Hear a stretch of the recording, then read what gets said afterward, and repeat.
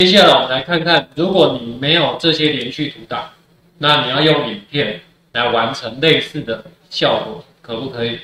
好，一样的，我把我们的这个影片档案就丢到 FFF 软体里面来。好，你现在可以看到它进来了之后呢，我们这边除了尺寸、时间，对不对？时间是一分多钟。那我今天想要去改变它的播放速度怎么办？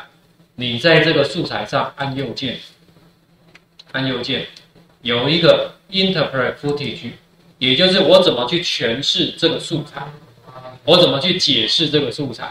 好，找到 man，。好，那你进来了之后呢？它里面有两种方式可以去决定它影片的速度。这个我们之前在那个哪一个有讲到声音有没有？声音我们有没有让它重复几次？有印象吗？这种方式是不不改变它播放速度，我只是重复的次数改变，这样影片会变长嘛？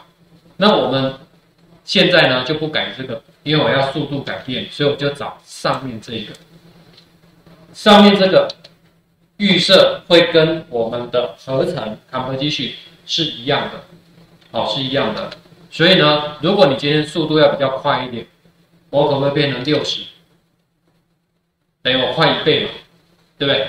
快一倍的话，我原本是一分钟，一分多钟，现在就只剩多少？是不是大概三十秒？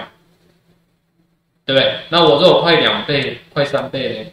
如果我到一百二，你可以看到有没有影片只剩十八秒？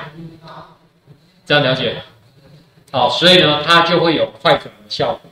你按下确定，那你把它丢下来，把它丢下来。好，假设我丢在这边，它就只剩十八秒的时间，有没有到这里就结束了？那中间的过程就会怎么样？就是说这个 A 景都会做的很好。那这样有没有快转？换两位吗？对不对？